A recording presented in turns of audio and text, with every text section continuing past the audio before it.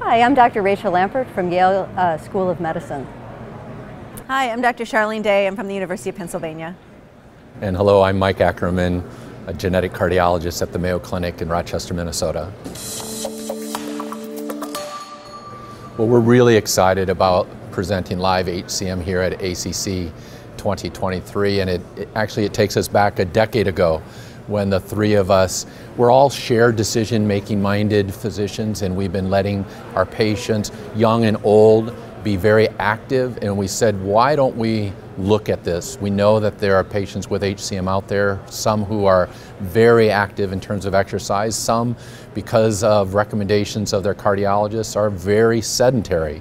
And so we really sought out to test the hypothesis that those people with HCM who exercise the most, will they have any different degree of HCM triggered events compared to those patients with HCM who exercise the least?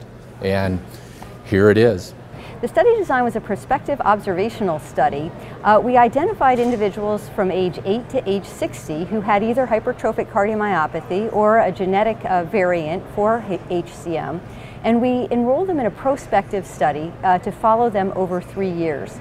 Uh, every six months they received an online survey uh, asking whether they had had any of our outcome events, which included uh, resuscitated cardiac arrest, a shock from their ICD, which we later adjudicated uh, to, to, confirm it was appropriate for ventricular arrhythmias. That, of course, was for individuals who did have an ICD, as well as uh, syncope, which uh, was felt to be arrhythmic by our events committee. And we also quantified all-cause mortality. We uh, analyzed the data both uh, primarily for non-inferiority, hypothesizing that those who exercised vigorously would not have a higher risk of our composite endpoint, as well as looking for superiority on either side individuals were enrolled uh, across the whole spectrum of exercise, from those exercising vigorously and even competitively to those uh, who were just doing moderate exercise to those who had less active lifestyles. So our patients were enrolled uh, through 42 centers worldwide. We had sites in uh, not only the United States, but the uh, number of sites in the United Kingdom, as well as Canada, Australia, and New Zealand.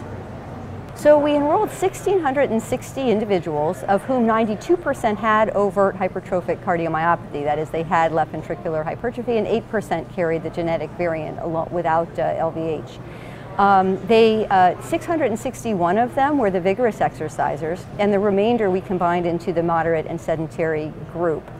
Uh, it was about a quarter pediatric, less than 18, another quarter between 18 and 25, and then the rest were uh, adults from age uh, 26 to uh, 60.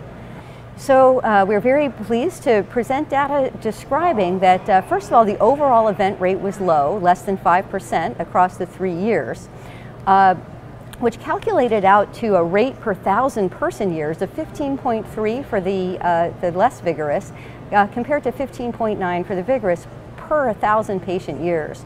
So this gave us a hazard ratio of 1.01, pretty close to unity, comparing the vigorous exercisers with those who are less active. Uh, this uh, hazard ratio did not, uh, the, the, confidence intervals for the hazard ratio did not cross our pre-specified uh, boundary for non-inferiority of 1.5. We also looked at a variety of subgroups, uh, including those who, uh, including only those who had overt hypertrophy, as well as some other subgroups. And we found hazard ratios which were very similar, although in these smaller groups, of course, the confidence intervals were wider. Well, we find these data very reassuring in that the absolute risk of arrhythmic events in these patients was very low, and that the relative risk in those exercising vigorously or even competitively was not higher than those who were less active. So we think that these data challenge a widely held belief that patients with HCM who engage in vigorous activity or organized competitive sports are at heightened risk of arrhythmic events.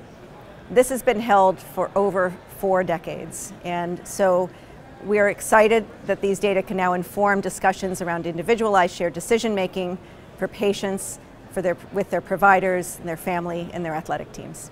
So uh, we're looking to take even more deeper dives into this data, looking at some subgroups, for example, those who have defibrillators, um, looking at some other questions in this group itself. Uh, we also have, uh, at the same time we initiated the Live HCM study, we also initiated another study uh, that was parallel called Live Long QT, asking the same questions about a different population, the uh, individuals with, with a, uh, the channelopathy or, or electrical disease of long QT syndrome, but for whom similar questions existed. Um, as far as next steps, so that study's in a phase where we should be analyzing that fairly soon, and we're looking to present that data, uh, you know, within the year. Um, next steps, I think we'll be wanting to look at some uh, wider populations as well. Um, there are many other channelopathies, many other cardiomyopathies for whom these same questions exist. I think in terms of next steps is getting out the message of, of good news. This is really good news for our patients with hypertrophic cardiomyopathy. For far too long, I think the guidelines probably have inadvertently resulted in a sedentary lifestyle for our patients with HCM, and we have essentially deprived them of what we all know that exercise is good medicine and is probably the best pill that we have for all patients with all heart diseases and now even patients with HCM. We can tell them with a very rigorous study that there's no signal of heightened risk among those who exercise the most compared to those who are the most sedentary. So I think people, not only patients, families, but also the cardiology community ought to be able to take this as really good news.